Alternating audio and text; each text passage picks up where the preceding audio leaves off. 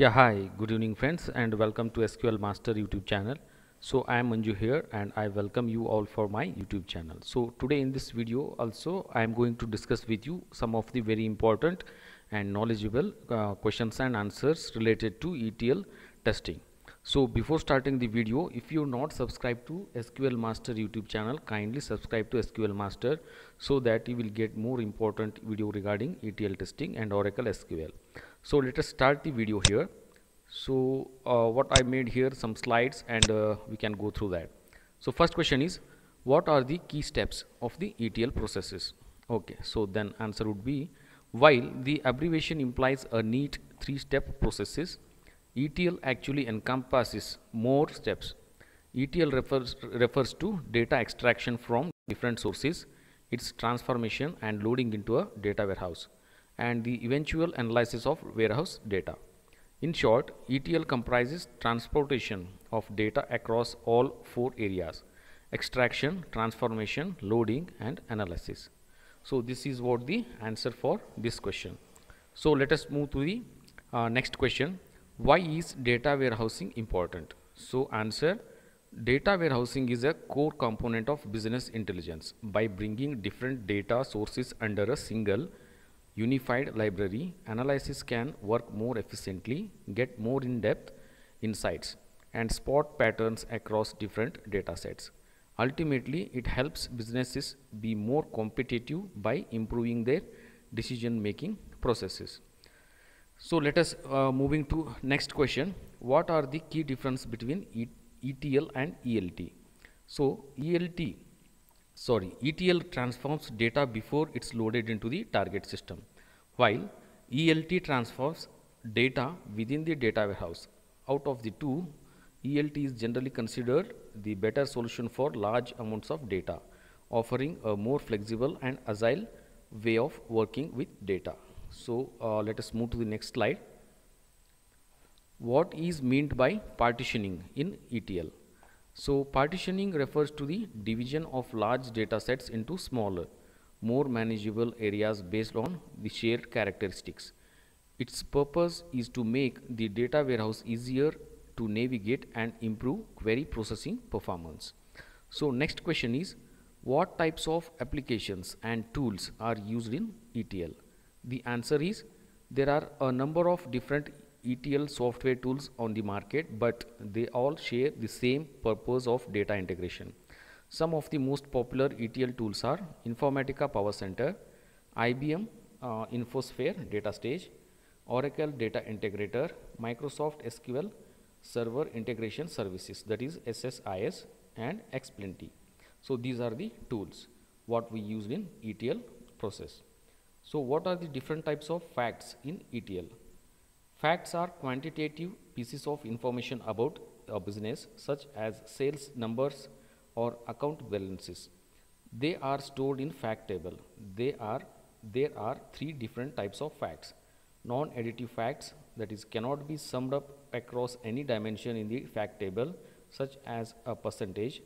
Semi-additive facts can be summed up for some but not all dimensions in the fact table such as a head count additive fact table can be summed up across all dimensions in the fact table such as sales. So uh, next question is uh, what is the role of dimension table how does it differ from a fact table? Fact tables contain measurements and matrices about the business. Dimensions tables are adjoined to fact tables by a foreign key and show descriptive characteristics of facts within them. While fact tables are granular, dimension tables are wordy and detailed. So next question is, why is ETL testing important and how can it be done? Regular testing is an essential part of ETL process. It ensures that data arrives in the analytics warehouse smoothly and accurately. ETL testing can be performed in the following ways. Review primary sources to make sure they have extracted without any data loss verify that the data has been transformed into appropriate data type for the warehouse. Check that the warehouse accurately reports cases of invalid data. Document any bugs that occur during the ETL processes. So this is the uh, best answer for this question. So how is the uh, data analyzed in ETL? Once data has been successfully transported into the data warehouse, analysis, uh, analysts uh, typically use third-party business intelligence applications such as Tableau to run, to turn the raw data into graphs and charts based on which uh, business decisions can be made. Some of the uh, latest ETL tools are equipped with their uh, own data analysis mechanisms. So moving to next slide. What are the some of the most common types of ETL testing? Uh, there are several ETL testing methods, each one serving a specific purpose at different points in the ETL process. Some of the most common types of ETL testing are production, validation, that is data in the target system is compared against the sources for validation, uh, validity purposes. And second one is source to target count testing, that is number of loaded records in the data warehouse is checked for the consistency against the expected record count. Performance testing, that is uh, the loading process is tested to make sure it takes a place within the expected time frames. Data transformation testing, data in the uh, target system is checked to verify that it has been correctly transformed in line with business requirements. So next question is, what are the snapshots in ETL? The snapshots are read-only copies of data from master table before uh, change to the data warehouse is made. A, snap snapshot is taken and stored locally for the reference. Uh, this works uh, to preserve records as they were before the change was made. Each snapshot has uh, three components, uh, the time it was taken, a key to identify snapshot, uh, the data relating to the key. So let us move to the next question. What is the uh, data profiling in ETL? Data profiling is the process of reviewing source data to identify its structure, quality and interrelationships. It can, uh, it's an important uh, precursor uh, to analyze the stage as it ensures that the appropriate source data is loaded into the data warehouse and that it is transformed in line with the business requirements. So uh, the next question is, what are the some of the most uh, common ETL bugs? So ETL testing can reveal a wide variety of problems. Some of these include loss of data between source and target system, lack of consistency between data sets, lengthy query processing, system crashes due to the scale of uh, data warehouse, cosmetic bugs are related to font, uh, color and alignment. So these are the some of the bugs, ETL bugs. What is meant by the uh, three-tier architecture of ETL? The most data warehouses comprise three separate areas. These are uh, the staging area, where the data is extracted from various sources and processed. The data integration area, where the data from staging area is transferred, sometimes called uh, the o OLAP server. Uh, the access area, where transformed data is uh, retrieved by users for analysis. So moving to next one, why is the uh, staging area is in ETL is important? The staging area uh, that is the landing zone for the data extracted from the sources and uh, sits between the source and target in the ETL process. Here uh, the data cleansed and modified uh, before it is transferred to data warehouse. This is more efficient alternative to transforming data in the target system itself. So 16th question is what is the difference between initial load and incremental load in ETL? Uh, the initial load refers to the process of uh, loading data from uh, primary sources to uh, target system for the first time. Once uh, this has been completed, all the subsequent loads uh, into the system will be incremental loads where only new and modified records are brought in. So this is what called as incremental load. What are some of the challenges in ETL testing? It's important to identify potential challenges early on the ETL process to avoid bottlenecks further down uh, the pipeline. Some of the most common problems and challenges of ETL testing are loss, corruption, duplication of data during transportation, uh, underperformance caused by the large volumes of historical data, unachievable business requirements, limited availability of uh, source data, outdated ETL tools. These are the some of the uh, challenges uh, while facing in ETL testing. Can you explain the ETL testing process from start to finish? Uh, ETL testing is uh, a demanding process that can that should be completed in the following order. Uh, define the business requirements that is uh, liaise uh, with the client to understand their reporting needs and define the uh, scope of project validating data sources that is perform a data count check and ensure check keys are in place uh, design ETL logic that is design the mapping sheet SQL script and transformational codes extract source data identify any bugs during the extraction phase transform data uh, make sure that data is transformed consistently load data. Perform a record count check and verify accuracy of uh, loaded data.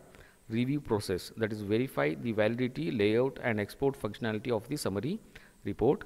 File test report. Share test results with the relevant stakeholders. So 19th question is what are the some of the uh, best ETL uh, features that our company should be using? A good ETL tool make uh, data integration process more efficient and user friendly uh, some particularly useful ETL features are cloud compatibility. Uh, that is allowing for greater flexibility and uh, better handling massive data sets.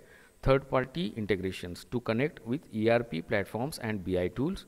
Automatic uh, code generation to reduce the risk of human errors and speed up development. Initiative interface to improve user navigation.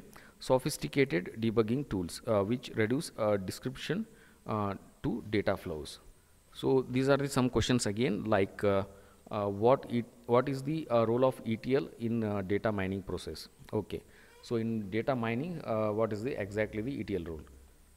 ETL is an important early phase of data mining process after data sources have been identified and business requirements are set. ETL is performed to bring all historical data under a single consistent system. From here the data is analyzed and uh, modeled uh, using BI tools data scientists are uh, then able to evaluate the uh, data to draw conclusions about business decisions. So next question is, uh, what are the different types of partitioning in ETL? Uh, when should they be used? So uh, the two main types of partitioning in ETL are uh, hash partitioning, that is rows are assigned using hash key, meaning partitions depend on the specified hash hashing algorithm. the next one is round robin partitioning. So that is what uh, the rows are assigned to round robin manner meaning each partition contains approximately the same number of rows. So moving to next question uh, what is meant by regression testing in ETL? Uh, regression testing is used to after developing functional repairs to the data warehouse uh, its purpose is to check uh, if said repairs have impaired other areas of ETL process. Regression testing should always be performed after system modifications to see if they have been introduced uh, new defects. So uh, next questions is uh, what is the purpose of uh, data purging and archiving? So data purging is the process of uh, permanently deleting the uh, obsolete data from data warehouse. For example, the data may be purged once it becomes 10 years old. this is done to free up the space on the server and improve performance. Data purging is usually accompanied by the archiving uh, where the data is moved to the separate storage device for long-term retention, typically for legal pur purposes. Okay, next 24th question is, uh, what are the key differences between connected and unconnected lookups in ETL? So there are several key differences between the connected and unconnected lookups. Uh, connected lookups return multiple columns from the same row uh, whereas unconnected lookups uh, return one column from each row. Connected lookups uh, receive values directly from the mapping pipeline, whereas unconnected lookups retrieve value from a separate transformation. Uh, connected lookup use a dynamic or static cache, whereas unconnected lookups only use a static cache. Uh, so these are the main difference between connected and unconnected lookups in ETL. Uh, the next question is when would you perform a lookup transformation in ETL? Lookup transformation is used to retrieve values from data source based on the specific lookup conditions. Uh, these are a few scenarios when uh, this may be necessary. For example, to update the dimension table, uh, to check the records already existing, exist in table, uh, find a specific value from a table. Uh, so uh, friends, these are the some important ETL related questions and answers. I hope you understood these uh, questions and answers uh, perfectly. So I will be with you with some more intern uh, ETL testing uh, questions and answers related to interview. So uh, so thank you for watching the video. I will be with you in my next video. thanks a lot. take care, friends.